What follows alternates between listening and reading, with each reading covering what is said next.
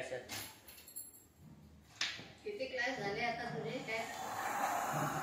मी पण एक महिना व्यतिरिक्त